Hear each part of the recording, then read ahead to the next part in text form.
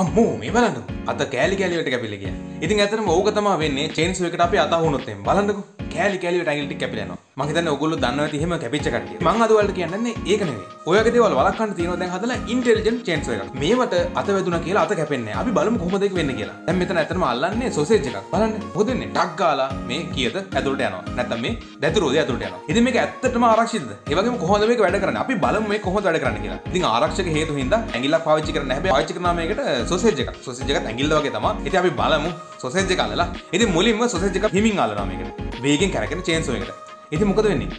Sausage එක ලං වෙනකොට මේ චේන්ස් එක එක පාර ෂණිකව පල්ලෙහාට යනවා. සොසේජ් එකට කිසිම හානියක් වෙන්නේ නැහැ. ඉතින් මේකේ බ්ලේඩ් එකේ තියෙන අතරම කරන්ට් එකක්. ඉතින් අපි ඔකට අපේ ඇඟිල්ල හරි නැත්නම් ඔය සොසේජ් එක හරි ලං කරලා පස්සේ මොකද වෙන්නේ? මේ බ්ලේඩ් එකෙන් අඳුර ගන්නවා පොඩි කරන්ට් වෙනසක්. මේක ඇතුලේ තියෙන තව පොඩි බ්‍රේකින් සිස්ටම් එකක්. ඒ කියන්නේ ඇත්තට පොඩි කෑල්ලක් ගිහලා වැදිලා වුණ වගේ තලේ හිර වෙනවා. බ්ලේඩ් එක කරගෙන එක නැවතිලා ඒක කෙලිම ඇතුලට ඇදලා ගන්නවා. ඉතින් ඇත්තටම ඕක තමයි වෙන්නේ උතන. ඉතින් ඊළඟට මම පෙන්නන ඔයාලට මේ සොසේජ් එකක් පිටක් ඉක්මනට යවලා. දැන් බලන්නකො ඉක්මනට යවට පස්සේ මොකද වෙන්නේ කියලා? ඉතින් ඇත්තට මෙතනදිත් මහා ලොකු කැපිල්ලක් වෙන්නේ නැහැ. පොඩි අඟල් දශම එකක වගේ චුට්ටි කැපීමක් තමයි වෙන්නේ. මොකද බොහොම ඉක්මනට මේ චේන්සෝ එකෙන් මේක අඳුනගෙන අපේ ඇඟිල්ල ආවා කියලා මේ චේන්සෝ එකේ අර ගැජට් එක වැඩ කරලා මොකද වෙන්නේ? මේ කීයක් තලේ ඇතුළට ඇදලා ගන්නවා. සොසේජ් එක ඉක්මනට යවුවා කියලා මහා ලොකු තුවාලයක් වෙන්නේ නැහැ. මං කිව්වා අඟල් දශම එකක වගේ පුංචි තුවාලයක් තමයි වෙන්නේ. ඉතින් ඇත්තටම ඕක ඇඟිල්ලක වුණත් මහා ලොකු වෙනසක් නෙමෙයි. මුළු අතක්ම කැපිලා යන එකත් එක්ක බලද්දි. ඉතින් දැන් ඔයාලට තේරෙන්නේ නැද්ද කොහොමද මේක වැඩ කරන්නේ කියලා ඉතින් දැන් අපි යන් තවත් වීඩියෝ එකක් බලන්න ආ මේ මොකද්ද දැන් මම ඔයාලට කියන්නේ යන්නේ දියමන්ති ගැන ඉතින් ඔයගොල්ලෝ දන්නවා දියමන්ති කියලා කියන්නේ ලෝකයේ ඩොලර් මිලියන ගාණක් වටන ව්‍යාපාරයක්. ඉතින් ඇත්තට මේ දියමන්ති දුර්ලභයිද? අපි බලමු ඇත්තට මේක දුර්ලභයිද කියලා. දියමන්ති හැදෙන්නේ කොහොමද? දියමන්ති හැදෙන්නේ සාමාන්‍යයෙන් මේ පෘථිවි මැන්ටල්. ඒ කියන්නේ පෘෂ්ඨයේ ඉඳලා කිලෝමීටර් 160ක් විතර යටයි. අපි මේ ඉන්න තැන ඉඳලා කිලෝමීටර් 160ක් විතර යටන යනකොට සාමාන්‍ය උෂ්ණත්වය සෙල්සියස් අංශක 1200ක් විතර වෙනවා. ඒ වගේම තමයි පීඩනය වුණත් මෙගා පැස්කල් 5000ට වඩා ලොකුයි.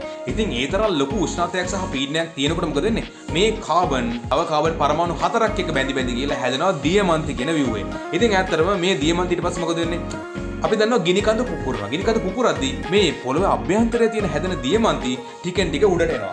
උඩට ඇවිල්ලා ඔය ගමන් කර මාර්ගයේ වටේටම තැන්පත් වෙලා තියෙනවා. ඩොලර් බිලියන ගාණක වටන වත්කමක්. ඉතින් මොකද වෙන්නේ? කවදාද දවසක දැනගත්තොත් එහෙනම් මෙන්න මේ විදිහට දියමන්ති පතලක් තියෙනවා කියලා මොකද වෙන්නේ? කම්පැනි ටික ඇවිල්ලා ඔන්න හාරන්න ගන්නවා වටේට. හාරන්න අරගෙන මොකද කරන්නේ?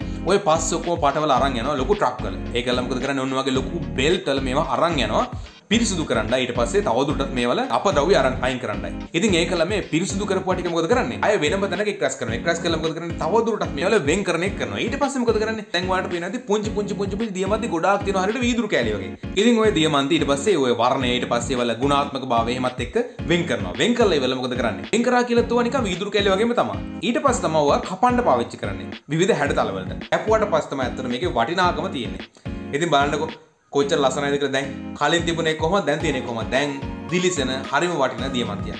ඉතින් ඔය විදිහට තමයි දියමන්ති හැදෙන්නේ. ඉතින් එහෙනම් මගේ පුංචි ඇට් එකේ තම ඔයගොල්ලෝ දැන් උසස් පෙළ රසායන විද්‍යාව කරන කට්ටිය ඉන්නවා නම් මගේ A level chemistry class තියෙනවා. ඒ වගේම 6 වසරේ ඉඳලා 11 වසර වෙනකන් online විද්‍යාව පන්තිත් තියෙනවා. ඉතින් ඔය දෙකම ගැන විස්තර ඔයාලට යට තියෙන WhatsApp number එකට message එකක් දාලා දැනගන්න පුළුවන් time table එක හැමදේම. ඒ වගේම මම මේ කරන හැම අධ්‍යාපනික වීඩියෝ එකම සුරංග කරුණානායක කියන මගේ YouTube channel එකේ දාලා තියෙනවා. ඉතින් playlist විදිහටම දාලා තියෙනවා. හරිම ලේසියෙන් ඔයාලට බලා ගන්නත් පුළුවන් මේකේ තියෙන හැම වීඩියෝ එකම. ඉතින් ගිහිල්ලා බලලා හොඳයි නම් subscribe කරන්න කියලා තියනවා වගේම ඔයාලා බලලා තියෙනවද මගදිගේ කියලා YouTube channel එකක්. ඒකේ හිටියා වෙනස් වෙනස් අමුතු අමුතු දේවල් ටිකක් තමයි තියෙන්නේ මේ කරන්නේව නෙමෙයි. ඉතින් ගිහිල්ලා බලන්න හොඳයි නම් බලන්න.